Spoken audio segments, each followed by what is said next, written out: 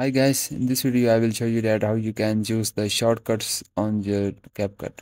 So first you have to just click on the shortcuts you are seeing on the top of the CapCut and here you will see the four section. First is the timeline, second is the player, fourth is the basic and the last is the other.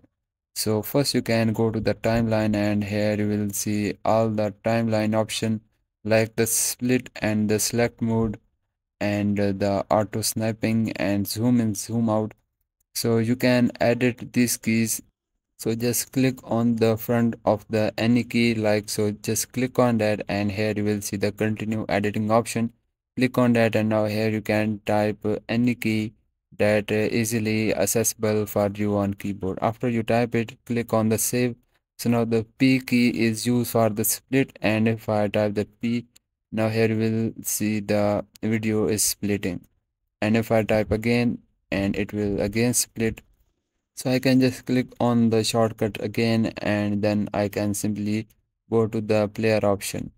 So you can also here you can edit all of these like add markers or the extract by restore the audio and uh, you can move forward to the next frame. So the second section is the player. You can also edit the play or the pause key or the enter by exit screen.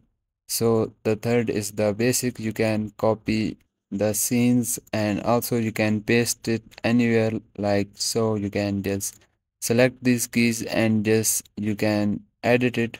After that just go to the others and this is the last. So guys this is how you can use the shortcuts on your CapCut and if you found this video helpful so please make sure you like this video because this is only motivation for me and I will see you guys in the next video